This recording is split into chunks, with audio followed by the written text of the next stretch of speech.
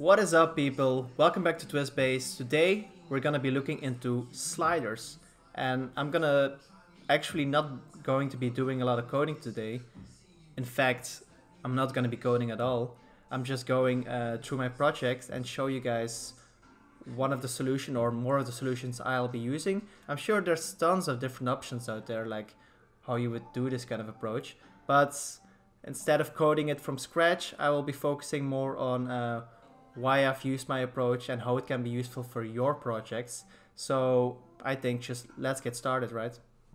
Cool, so when you've uh, opened the project and you uh, built the file, you're gonna see three sliders, uh, living room, kitchen, and bedroom, for example. Functionality for this app is gonna be you can move the slider around, the percentage is updating, the there's also some masking involved, and uh, notice that there's also rounded corners in here to make it a bit more like designy or how do you call it, a bit more fancy. There's the option to disable a slider. This also disables the pointer events. Uh, you can do this for all of them. And one last thing, the slider is always animating from the point where it started to the point where it ended. And then goes back here. So there's actually, yeah, it's quite a lot going on. You can also see some opacity changes in here for the masking. Uh, but let's not worry about that for now. Let's just basically start from the top of our application and I'll explain you guys what's going on uh, step by step so you get a better understanding. As you guess you download the the final project and just follow along. Uh, this way you can really understand what's going on. Cool. So in the home view uh, we have centered our home list widgets over here. Uh, there's this is the main scaffold of the app. Nothing really special happening here. If you open the home list widgets, this uh, the shrink wrap is set to true of a list view builder. So this is containing our main list. And the reason why the shrink wrap is set to true is because if, if by default it's set to false, if you set it to false, it's not gonna um, like allow you to center it outside of the class or center it anywhere. So we need to specify this to true if we want to move it around. The, we're not using physics, so we don't want to scroll effects on it. Uh, so you specify that but never scrollable physics. Then the item count is just going to be the three items specified in our global class. And just some padding, left, right, bottom. So 20, 20, 20 pixels here. And then we are going basically in the main uh, class, which is going to be dealing with everything, like all the special stuff. Special.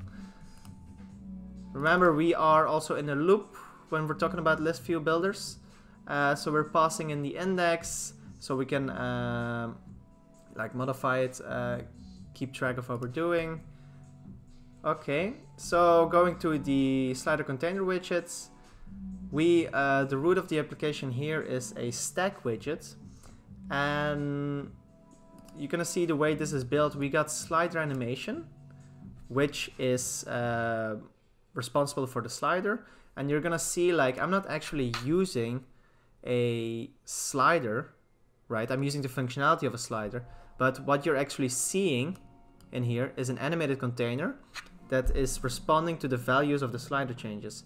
So th this is one way of doing this and it solves the problem of creating your own custom handlers that you need to override in a slider and this creates a lot more like code but because of the animated container we don't even need to uh, do that and we don't even need to create an animated controller and keep, uh, dispose those things, make a stateful widget.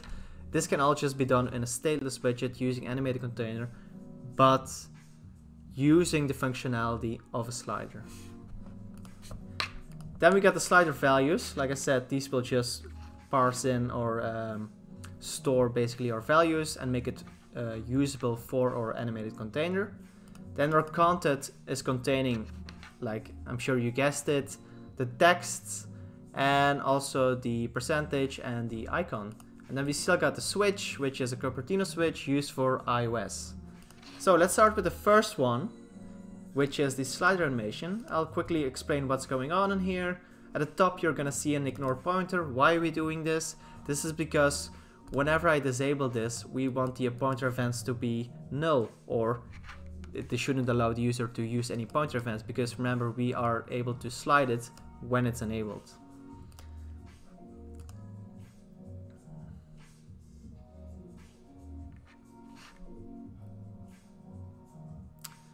So, uh, moving on, we are um, so if you create an animated container, uh, the values that changed on the width or the height proper or any uh, transform related properties you specify, if they change, which you can change in your model, uh, they automatically animate without you having to specify the animation controller, which is really handy.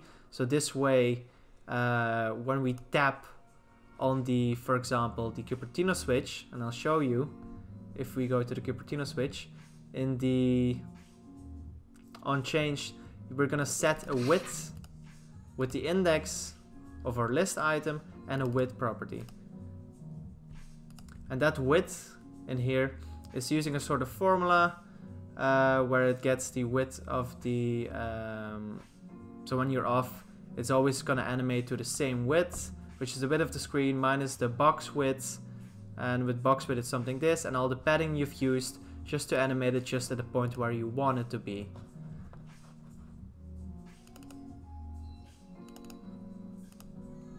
Going back to our slider animation, uh, you can see we have a duration property in here because um, actually, and this is kind of a little hack if you think about it, because when we are uh, in this state, we don't want any duration to happen, so this is going to be null uh, at the moment. Otherwise, we will have a delay. The only thing when we when uh, the switch Cupertino switch is toggled, this is where we want to have a value of 500 milliseconds because otherwise we wouldn't see this animation happening in the first place. That's that, nothing much special happening, just some uh, conditional expressions going on. Um, that is the switch value. Uh, let's see what's happening here. Uh, the color of the box decoration, uh, then just the border radius of the main container. Remember, we are having border radius for all of them except the bottom left corner. Then, if you see the slider values, and actually, sorry, we are using the ignore pointer in here, like I said before, um, to make this disabled, right? We don't want to everything, anything to happen in here in this state. Uh, and that's what's happening here with this conditional statement. And then um, we are using a slider theme data. I mean, we are overriding slider theme data. For example, in the overlay shape, if you would not do this and you would hot reload, you're gonna see there is gonna be a sort of indicator and it's gonna mess with, um, if you see the mouse at the moment, it's, gonna, it's a little bit gonna mess with where your active track point is. And uh, you can override that by setting it to null by default. If you hot reload, you can see the mouse is always where it wants to be and you don't see that overlay shape. This is our track height, uh, which is specifying um, it's gonna be around 100 pixels. So that means we can grab it here, we can grab it here. If you wouldn't do that, uh, your track height is gonna be by default a lot, lot smaller. So you wouldn't be able to uh, use this here.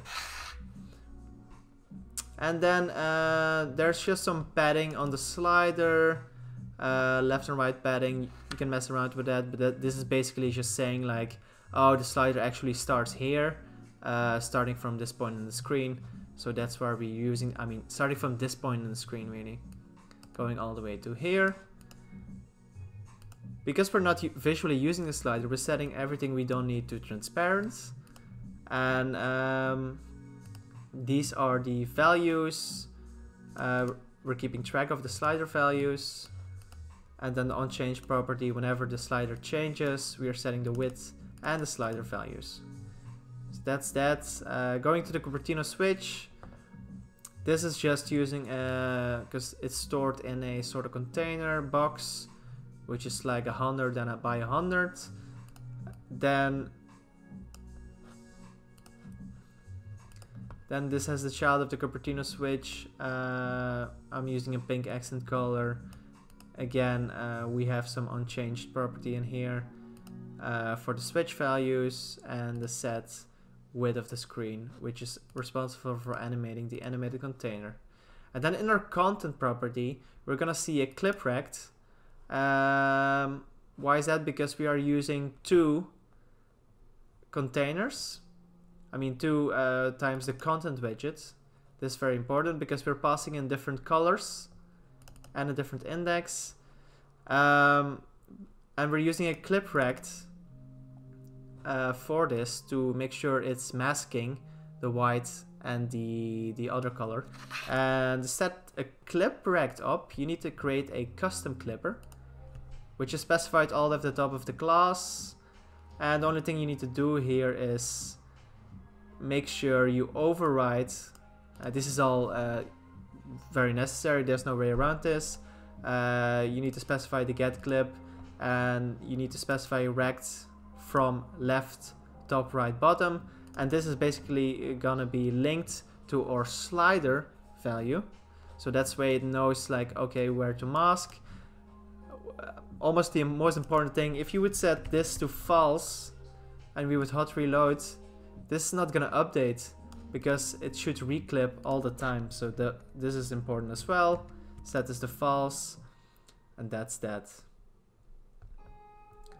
So yeah, that's that's pretty much the main thing about it. I mean, um, if you look at the, we still got the home model. This is I always try to keep like stuff like formulas and stuff you calculate created in your model class. I'm using provider for this. Um, it, it's kind of handy. I mean, for the width value, for example, we are reserving an array of uh, three spots, and then um, with the formula we created here and the, the start width, we are uh, animating the animated container where we want. I mean, play around with the values. Uh, it's not that complicated really, and uh, yeah, I think I think that's pretty much it. If I do this, do this. I need more, more for loops. Oh, is that?